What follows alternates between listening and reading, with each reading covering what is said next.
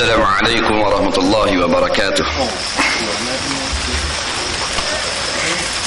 بسم الله الرحمن الرحيم. الحمد لله. الحمد لله الذي أرسل رسوله بالهدى ودين الحق ليظهره على الدين كله. ولو كره المشركون. نحمده ونستعينه ونستغفره. ونعوذ بك من شرور أنفسنا ومن سيئات أعمالنا. من يهد الله فلا مضل له ومن يضلله فلا هادي له. أشهد أن لا إله إلا الله وحده لا شريك له وأن محمدا عبده ورسوله. اللهم صل وسلم على حبيبنا وشفيعنا وزقرنا ومولانا وقدوتنا سيدنا محمد وعلى آله وصحبه أجمعين أما بعد saya kasihi tuan pengerusi yang sangat dihormati penceramah kita pada malam ini Al-Fadil Ustaz Maknur yang telah lepas memberikan ceramah Yang disayangi Al-Fadil Ustaz Muda Abdullah para pimpinan seterusnya muslimin dan muslimat generasi ulul albab sekalian. Alhamdulillah kita panjatkan syukur ke hadratillah subhanahu wa ta'ala. Yang dengan limpah dan kurnianya kita masih dapat meneruskan satu amal soleh. Ialah sesi ceramah. Ataupun tazkirah. Sesuai dengan firman Allah Subhanahu wa taala wa zakir fa inna zikra tanfa'ul mu'minin. Sentiasalah memberi peringatan. Kerana sesungguhnya tazkirah yakni memberi peringatan itu memberi guna kepada orang-orang yang beriman saya sebut generasi ulul albab pasal sekarang sudah naik. Di simpang-simpang jalan. Kalau lihat bandar ni penuh dah. Ditulis itu generasi ulul albab Islam Hadari Terengganu Bestari. Dan saya telah banyak menerima soalan orang-orang bertanya menapa kok ulul albab? Kalau buah ulu dengan belebak tahu. Ulul albab ni menapa? Muslimin dan muslimat sekalian. Perkataan ulul albab daripada Al-Quranul Karim yang merupakan satu wahyu daripada Allah Subhanahu wa taala. Ulul albab disebut tujuh kali di dalam Al-Quran. Tidak termasuk ulil albab. Bermula dengan surah Al-Baqarah. Penghujungnya pada surah Sad.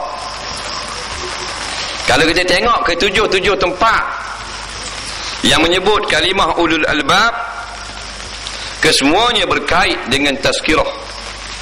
Kesemuanya disebut sebelum daripada ulul albab. Lafaz tazkirah supaya mengambil peringatan. Waliyazakkara ulul albab. Wa yatazakkaru ulul albab. Dan seumpamanya. Dalam surah Sad kita dapat faham siapa sebenarnya generasi ulul albab?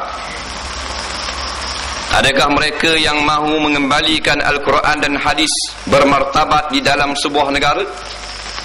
Ataupun golongan yang mengekalkan perlembagaan penjajah di dalam negara sebagai ulul albab?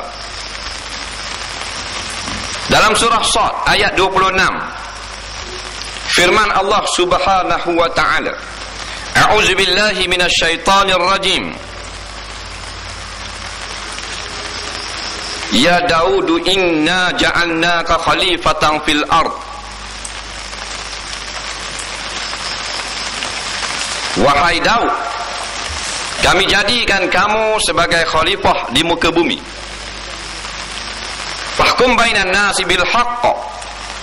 Maka hendaklah kamu berhukum di antara manusia dengan kebenaran wala tatib wala tattabi'il hawa. Dan jangan sekali-kali kamu mengikut akan hawa nafsu. Fayudillaka an sabilillah. Mengikut hawa nafsu itu akan menyesatkan kamu daripada jalan Allah. Innal ladzina yadilluna an innal ladzina yadilluna an sabilillah. Sesungguhnya orang-orang yang sesat daripada jalan Allah lahum azabun syadidun bima nasu yaumal hisab. Sabit bagi mereka itu azab yang bersangatan dengan sebab mereka melupakan hari perhitungan iaitulah hari dihitung segala amal kita pada hari kiamat.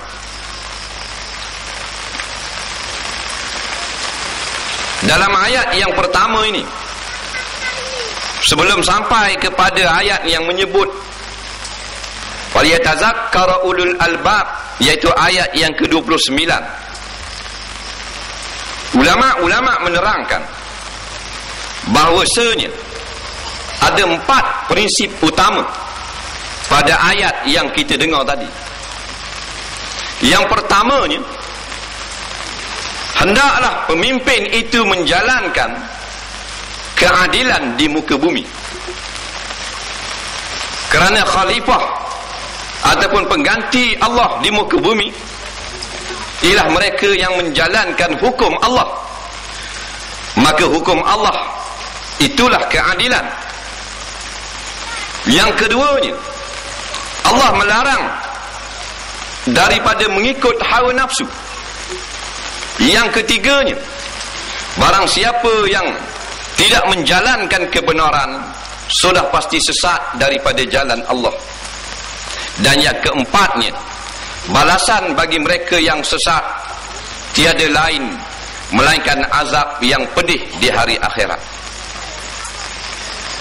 Maka untuk mencapai generasi ulul albab tak dapat tidak kena kaji ayat ni. Sekarang mereka mendakwa mereka lah generasi ulul albab ya ke tak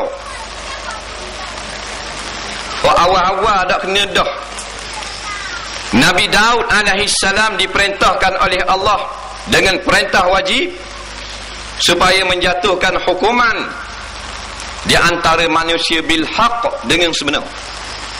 Tidak ada kebenaran melainkan apa yang telah tercatat di dalam Al-Quran dan sunnah Nabi sallallahu alaihi wasallam. Adakah pemerintah sekarang telah pun menjalan hukum-hukum yang sabit di dalam Al-Quran dan hadis? Jawabnya tidak sekali-kali. Bahkan mereka sendiri mengakui bahawasanya perlembagaan yang ada sekarang tak ada kena mengena dengan Al-Quran dan hadis. Tahu perkara yang benar tetapi masih mengikut jalan yang bukan jalan kebenaran. Kalau kita tanya mufti qadi dia kata yang benarnya kalau hukum zina rotang lah, seratus rotang. Kita kata gua ni pula gitu.